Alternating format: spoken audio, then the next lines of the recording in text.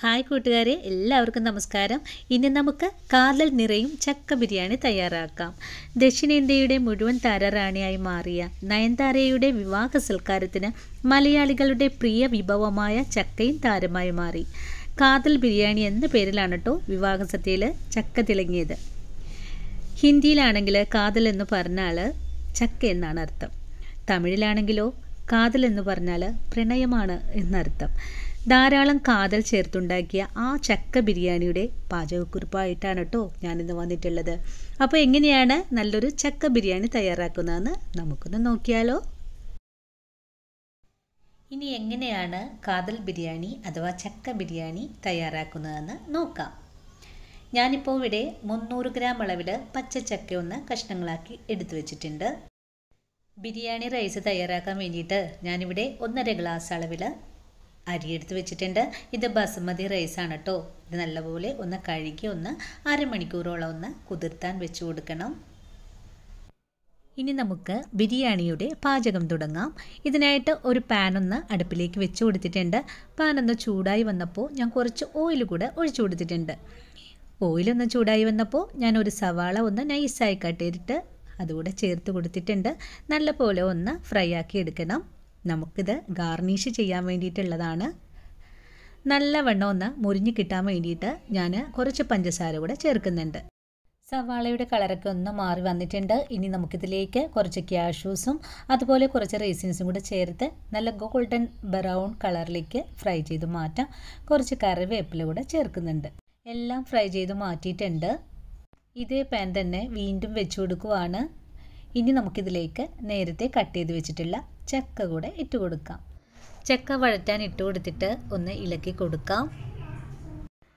ചക്ക ഒന്ന് മുരിഞ്ഞു വരുന്നത് വരെയും നമുക്ക് ഇതേപോലെ തന്നെ ഇളക്കി കൊടുക്കണം. വഴണ്ടു വരുന്ന ചക്കയിലേക്ക് കുറച്ച് മഞ്ഞൾപ്പൊടിയും ആവശ്യത്തിനുള്ള ഉപ്പും കൂടെ ചേർക്കാം.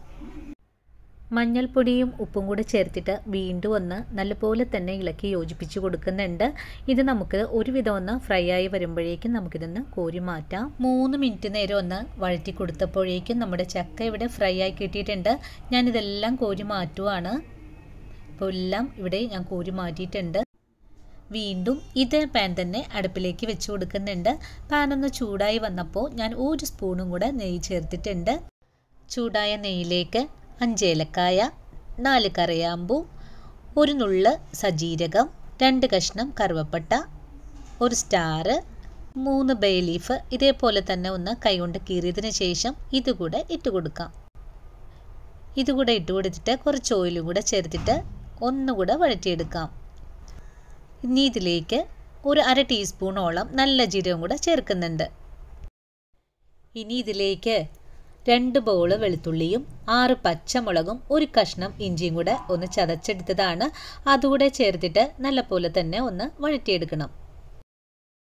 ഇഞ്ചിയും വെളുത്തുള്ളിയും ചേർത്തിട്ട് ഒരു മിനിറ്റ് നേരം ഒന്ന് വഴറ്റി കൊടുത്തിട്ടുണ്ട്. നല്ലപോലെ തന്നെ ഒന്ന് വാടി വന്നപ്പോൾ ഇതിലേക്ക് ഇനി നാല് സവാള ഒന്ന് കട്ട് ചെയ്തത് ചേർക്കുകയാണ് സവാളയും കൂടെ ചേർത്തിട്ട് നല്ലപോലെ തന്നെ ഒന്ന് വഴറ്റിയെടുക്കാം. സവാള ഒന്ന് രണ്ട് മിനിറ്റ് നേരം ഒന്ന് വഴറ്റി കൊടുത്തപ്പോഴേക്കും നല്ല പോലെ തന്നെ കളറൊക്കെ ഒന്ന് ചേഞ്ചായി കിട്ടിയിട്ടുണ്ട്. ഇനി ഇതിലേക്ക് കുറച്ച് മസാലപ്പൊടികളൊക്കെ ചേർത്ത് കൊടുക്കണം. ആദ്യം തന്നെ നമുക്ക് ഒരു ടീസ്പൂൺ അളവിൽ മഞ്ഞൾപ്പൊടി ചേർക്കാം. മഞ്ഞൾപ്പൊടി ചേർത്തിട്ട് നല്ല പോലെ തന്നെ ഒന്ന് വഴറ്റി അതിന്റെ പച്ചച്ചുവയൊക്കെ ഒന്ന് മാറ്റിയെടുക്കണം. മഞ്ഞൾപ്പൊടി ഒന്ന് നല്ലവണ്ണം മൂത്ത് കഴിഞ്ഞാൽ ഇനി ഇതിലേക്ക് ഒരു ടീസ്പൂൺ അളവിൽ മല്ലിപ്പൊടി ചേർത്ത് ഒന്നും കൂടെ വഴറ്റിയെടുക്കാം. മല്ലിപ്പൊടി ഒന്ന് നല്ലപോലെ മൂത്ത് കഴിഞ്ഞാൽ ഇനി ഇതിലേക്ക് ഒരു ടീസ്പൂൺ അളവിൽ മുളക് പൊടിയും കൂടെ ചേർത്തിട്ട് നല്ലവണ്ണം മൂപ്പിച്ചെടുക്കാം. ഇപ്പോൾ നമ്മൾ ചേർത്തിട്ടുള്ള മസാലപ്പൊടികളെല്ലാം തന്നെ മൂത്ത് കിട്ടിയിട്ടുണ്ട്. ഇനി ഇതിലേക്ക് ചേർക്കേണ്ടത് ഒരു ടീസ്പൂൺ അളവിൽ ഗരം മസാലപ്പൊടിയാണ്. അതുകൂടെ ചേർത്ത് ഒന്നുകൂടെ വഴറ്റിയെടുക്കാം. ഗരം മസാലപ്പൊടി കൂടെ ചേർത്ത് നല്ലവണ്ണം ഇളക്കി കഴിഞ്ഞാൽ ഇനി നമുക്കിതിലേക്ക് ചേർക്കേണ്ടത് രണ്ട് തക്കാളി പൊടിയായി കട്ട് ചെയ്തതാണ്. ഇതുകൂടെ ചേർത്തിട്ട് വീണ്ടും ഒന്ന് വഴറ്റി കൊടുക്കുവാണ്. ഇനി നമുക്ക് കുറച്ച് ഉപ്പും കൂടെ ചേർത്തിട്ട് ഇതൊന്ന് മൂടി വെച്ച് വേവിച്ചെടുക്കാം. അപ്പോൾ നമ്മുടെ തക്കാളിയെല്ലാം നല്ല പോലെ തന്നെ വെന്ത് ഉടഞ്ഞ് പാകമായിട്ട് കിട്ടും. ഒന്ന് മൂടി വെച്ച് കൊടുക്കുവാണ്. തക്കാളി ചേർത്തിട്ട് ഒരു അഞ്ച് മിനിറ്റ് നേരം ഒന്ന് മൂടി വെച്ചിട്ടുണ്ടായിരുന്നു. ഇപ്പം മൂടിയൊക്കെ ഒന്ന് തുറന്ന് നോക്കിയിട്ടുണ്ട്. നമ്മുടെ സവാള തക്കാളി എല്ലാം നല്ല വെന്ത് നല്ല പാകമായിട്ട് കിട്ടിയിട്ടുണ്ട്. ഇനി നമുക്കിതിലേക്ക് ഒരു കപ്പ് അളവിൽ തൈര് കൂടെ ചേർക്കാം. തൈര് കൂടെ ചേർത്ത് കഴിഞ്ഞാൽ എല്ലാം കൂടെ കൂട്ടി ഒന്ന് യോജിപ്പിച്ച് ഇളക്കിയെടുക്കണം. ഇപ്പം എല്ലാം ഒന്ന് കൂട്ടി യോജിപ്പിച്ച് ഇളക്കി കൊടുത്തിട്ടുണ്ട്. ഇനി നമുക്കിതിലേക്ക് ചേർക്കേണ്ടത് നമ്മൾ നേരത്തെ ഫ്രൈ ചെയ്ത് വെച്ചിട്ടുള്ള ചക്കയാണ്. ചക്ക കൂടെ ഇതിലേക്ക് ചേർക്കാം. ഇനി ഇതെല്ലാം കൂട്ടി ചേർത്ത് നല്ല പോലെ തന്നെ ഒന്ന് മിക്സ് ചെയ്തെടുക്കാം. എല്ലാം കൂടെ ഒന്ന് നല്ല പോലെ തന്നെ ഒന്ന് കൂട്ടി ഇളക്കി കൊടുത്തിട്ടുണ്ട്. ഇനി നമ്മുടെ ചക്കയിലേക്ക് മസാലയൊക്കെ ഒന്ന് പിടിച്ച് കിട്ടാൻ വേണ്ടിയിട്ട് നമുക്ക് ഒരു രണ്ട് മിനിറ്റ് നേരം കൂടെ ഒന്ന് മൂടി വെച്ച് കൊടുക്കാം. മൂടി വെക്കുന്നതിന് മുമ്പായിട്ട് നമ്മുടെ മസാലയ്ക്ക് ഉപ്പുണ്ടോ എന്നൊക്കെ നോക്കാം. ഞാൻ കുറച്ച് ഉപ്പ് കൂടെ ചേർക്കുന്നുണ്ട്. നമ്മുടെ മസാലയ്ക്ക് കുറച്ച് ഉപ്പ് കുറവാണ് കേട്ടോ. ഉപ്പും കൂടെ ചേർത്തിട്ട് നല്ല പോലെ തന്നെ ഒന്ന് ഇളക്കിയതിന് ശേഷം ഒന്ന് മൂടി വെച്ച് കൊടുക്കുന്നുണ്ട്. അപ്പോൾ എല്ലാം ചേർത്തിട്ട് ഒന്ന് മൂടി തുറന്ന് നോക്കുവാണ്. ഇപ്പോൾ നമ്മുടെ മസാല എല്ലാം ഇവിടെ റെഡിയായി കിട്ടിയിട്ടുണ്ട്.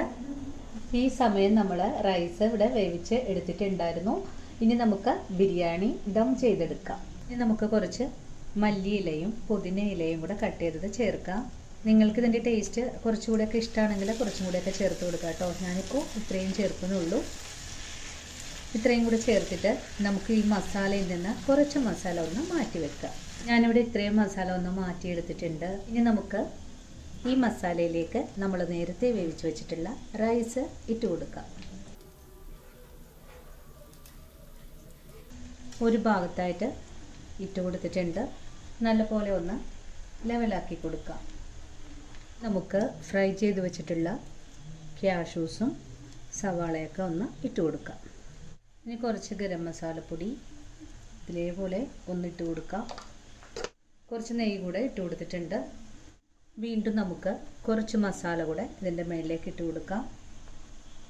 ഇനി ഈ ബിരിയാണിയിലേക്ക് ബിരിയാണി കൈത നമുക്ക് ഇതേപോലെ ഒന്ന് കെട്ടിയതിന് ശേഷം ഈ ചോറിലേക്ക് ഒന്ന് വെച്ച് കൊടുക്കാം. ബിരിയാണി കൈത ഇതിലേക്ക് ചേർക്കുന്നത് നമ്മുടെ റൈസിന് നല്ല ഫ്ലേവർ കിട്ടാൻ വേണ്ടിയിട്ടാണ് കേട്ടോ നിങ്ങളുടെ കൈവശം ഇതില്ലെങ്കിൽ ഇത് ഒഴിവാക്കാവുന്നതാണ്. ആദ്യം ചെയ്ത പോലെ തന്നെ കുറച്ച് ഗരം പൊടി ഫ്രൈ ചെയ്ത് വെച്ചിട്ടുള്ളതും കൂടെ ചേർക്കാം.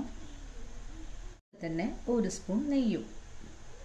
എന്നിട്ട് ഒന്ന് ഇതേപോലെ തന്നെ ഒന്ന് പ്രസ് ചെയ്ത് കൊടുക്കാം. ഇനി നമുക്ക് കുറച്ച് മല്ലിയിലയും പുതിനയിലയും കൂടി ഇട്ട് കൊടുത്തിട്ട് നമുക്ക് അഞ്ച് മിനിറ്റ് നേരം ഒന്ന് മൂടി വെച്ച് കൊടുക്കാം. ഒരു അഞ്ച് മിനിറ്റ് നേരം ഒന്ന് മൂടി വെച്ച് കഴിഞ്ഞിട്ടുണ്ടായിരുന്നു. ഇനി നമുക്ക് ഇതെല്ലാം കൂടെ ഒന്ന് മിക്സ് ചെയ്ത് കൊടുക്കാം.